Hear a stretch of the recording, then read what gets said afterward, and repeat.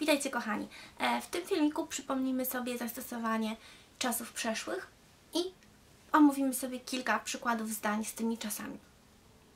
Więc szybkie przypomnienie. Mamy cztery. Past simple, past continuous, past perfect i past perfect continuous. I przygotowałam dla Was taką, e, taką planszę, żeby pomóc Wam zobrazować, kiedy którego z tych czasów używamy. Spójrzcie na to pierwsze zdanie. I was reading a book when the telephone rang. E, mamy tutaj dwa czasy. Mamy past continuous i past simple. I teraz spójrzcie na tą oś czasu. E, wszystko dzieje nam się w przeszłości, prawda? The telephone rang był to jakiś moment w przeszłości. Telefon sobie zadzwonił, jakiś punkt na tej naszej osi. Natomiast I was reading a book była to czynność ciągła. Ona trwała przez jakiś określony przedział czasu, dlatego zaznaczamy ją takim właśnie e, paskiem. Musicie pamiętać o tym, że past continuous używamy, jeżeli czynność przez dłuższy czas trwała w przeszłości, natomiast past simple, jeżeli była to czynność zakończona.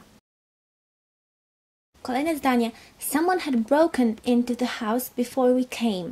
Mamy dwie czynności przeszłe. Ktoś włamał się do domu, zanim przyszliśmy. Obie wydarzyły się w przeszłości, z tym, że jedna z nich była wcześniejsza. Wcześniej ktoś się włamał do domu, później my przyszliśmy. Dlatego someone had broken into będzie w czasie past perfect, ponieważ jest to czas zaprzeszły. Używamy go po to, żeby podkreślić, że jedna z tych czynności była wcześniejsza. We came jako ta późniejsza czynność. Przyszliśmy. Past simple. Tom called Sarah after he had been working in the garden. Czyli Tom zadzwonił do Sary po tym, jak wcześniej pracował w ogrodzie przez jakiś czas. I teraz mamy had been working. Oznacza, że była to czynność wcześniejsza, w dodatku, że trwała przez jakiś okres czasu. Moglibyśmy dodać after he had been working in the garden for an hour na przykład. Natomiast called było tą późniejszą czynnością. Najpierw pracował w ogrodzie przez jakiś czas, dlatego mamy past perfect continuous. Potem zadzwonił do Sary. To przejdźmy do ćwiczeń. Pierwsze zdanie. Szukamy słówka e, określającego czas. Jest to słówko after. I teraz zastanówmy się, mamy after. After jest charakterystyczne dla past perfect. To znaczy, że w jednej części e, zdania tego past perfect będziemy musieli użyć. Która z tych czynności była wcześniejsza? Zdanie po polsku powinno brzmieć: Po tym jak opuściłem Londyn, pojechałem do Paryża. Co było wcześniejsze? Opuszczenie Londynu. Zatem ta czynność powinna być w past perfect. Obie były przeszłe, obie wydarzyły się w przeszłości, jednak wcześniej nastąpiło to opuszczenie Londynu. Więc after I had left London, I drove on to Paris. Kolejny przykład. By the time they to get married, they each other for six years. Czyli zanim zdecydowali się wziąć ślub, znali się wcześniej przez 6 lat. Określenia czasu. By the time i tak naprawdę w tym zdaniu mam jeszcze for six years, które jest też charakterystyczne dla past perfect. Co było wcześniej? Czy najpierw się znali, czy najpierw zdecydowali się wziąć ślub? Pierwszą czynnością było to, że się znali przez 6 lat, czyli była to czynność wcześniejsza, dlatego tutaj w tej drugiej części zdania użyjemy past perfect. Natomiast w pierwszej past simple, bo to była czynność przeszła, ale późniejsza. By the time they decided to get married, they had known each other for six years. Mamy past simple i past perfect. Kolejne zdanie. He the car for six hours before he behind the wheel. Czyli najpierw jechał samochodem przez 6 godzin, zanim zasnął za kierownicą.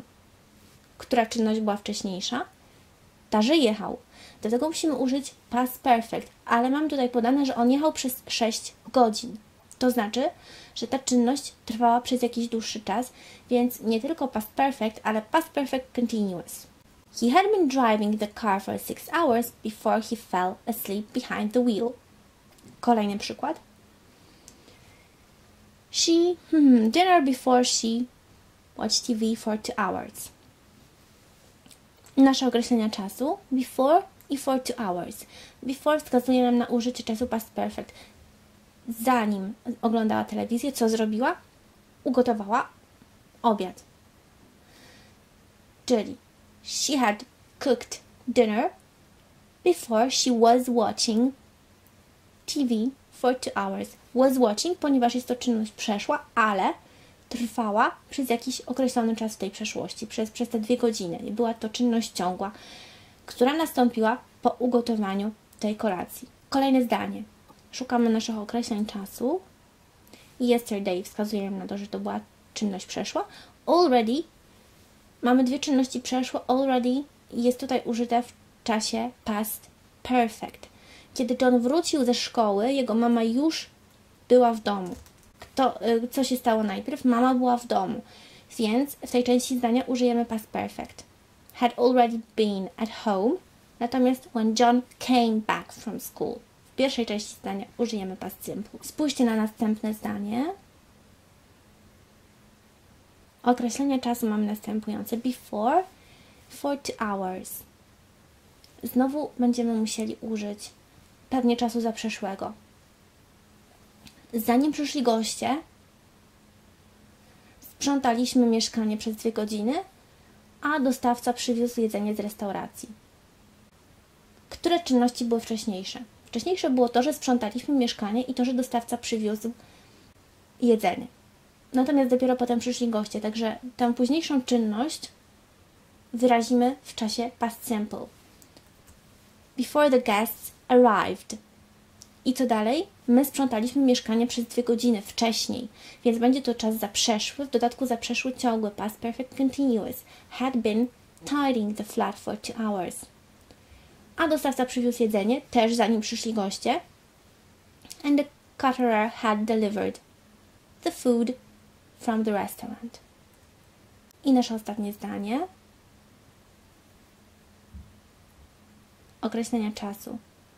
While, to znaczy podczas gdy while, przypominam Wam, jest charakterystycznym określeniem dla past continuous. Podczas gdy Sue przygotowywała obiad, Jerry brał prysznic, a ich dwaj synowie wrócili ze szkoły. Sue przygotowywała kolację, w tym samym czasie Jerry brał prysznic. Były to dwie czynności ciągłe, występujące równolegle. Możemy w obu, w zasadzie musimy w obu użyć past continuous. While Sue was preparing dinner, Jerry was having a shower. Their two sons came back from school. Mamy dwa razy past continuous i raz past simple. Dobrze, kochani, to były nasze przykłady.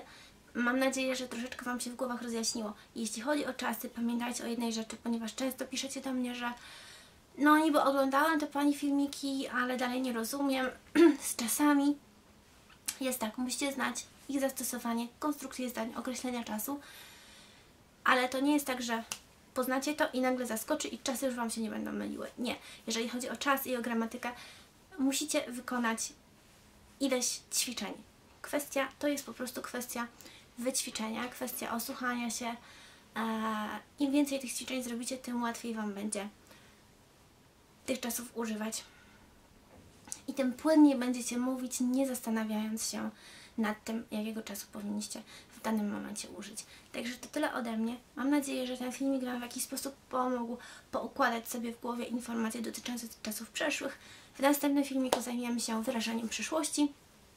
Zrobimy sobie taką krótką powtórkę, potem przejdziemy już do innych konstrukcji gramatycznych, takich jak kondycjonalna, mowa zależna, strona bierna i tym podobne. To wszystko na dzisiaj i do zobaczenia.